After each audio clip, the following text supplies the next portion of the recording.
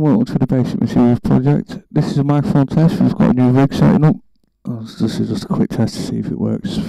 Okay.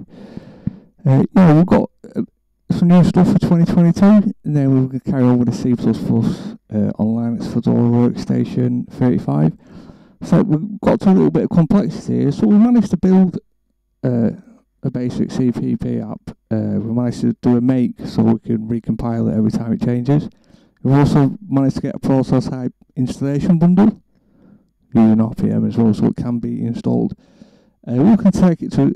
Uh, we're going to get a bit complicated by using version control, namely Git, uh, and we're going to find a way of pushing application updates uh, to any particular installed bundle. Uh, so look forward to that. Uh, and we're also going to do. We're going to swap out the compiler. Uh, we're going to swap out the the inbuilt Linux compiler with an AMD compiler. It's called the AOCC compiler from AMD because uh, the system is an AMD chip.